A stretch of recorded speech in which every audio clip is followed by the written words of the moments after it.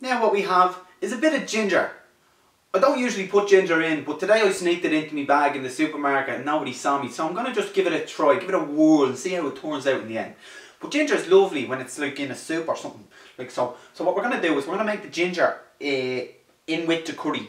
Because the curry could be very complemented with the, with the ginger. Do you know what I mean? So let's, let's just give it a try. Now, kind of the same way with the onions, we're going to just chop the, the ginger into strips, fine strips, and then dice it. So, one, two, three, four, five, six, seven, you know. It's lovely when you get a nice bit of ginger. Especially if you have a cold or something. It'll clear your cold. So, putting yourself around shit like that. Now, dicing it very nicely. Oh, it's a great smell out of the ginger. Look, if you smell it, Ah, oh, bleeding lovely so it is. my next ingredient, the favourite of the lot. Bit of garlic. Fucking love it. Probably put the whole bulb in, I love it that much. Do you know what I mean? But I'm probably going to be cooking this for some other people. So we'll only put three quarters of the bulb in.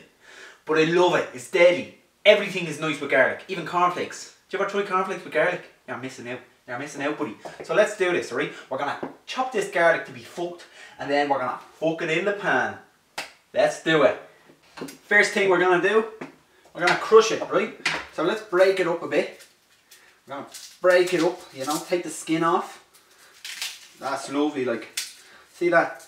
Best bulbs are in the inside, yeah? I don't know, I just made that up. Probably are though. Right, so what we're going to do now is we're going to crush the hell out of this one. Alright? Crushing.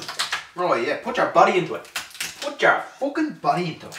Because it helps when you're chopping that it's crushed, but it also helps take the skin off beforehand. So, mainly putting your body into it. So, chopping it nice and finely. Don't worry if it comes off clumpy a bit, because we'll chop it again and again and again and again and again until you know that is what you do is you, you kind of hold the knife down and you're chopping with one hand, but you're not letting it get out of your other hand, you know? You're you're keeping a bit of control. Control. Yeah. Lovely. Know, you faster you go, you fucking better you feel.